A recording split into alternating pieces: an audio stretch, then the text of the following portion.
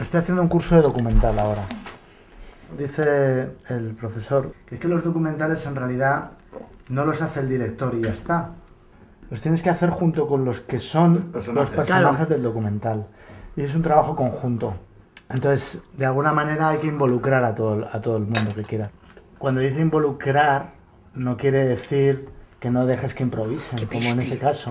Yo no- bueno, a veces sí que sabía que estaba grabando, por- pero, pero No, yo no hablo de eso, papá. Uy. no, no Mira era- qué peste. Espérate. ¿Te das como al sol? No, no, pero espérate. Tengo que ir a por otras. Toma. Huele a eso. Qué peste. Bueno,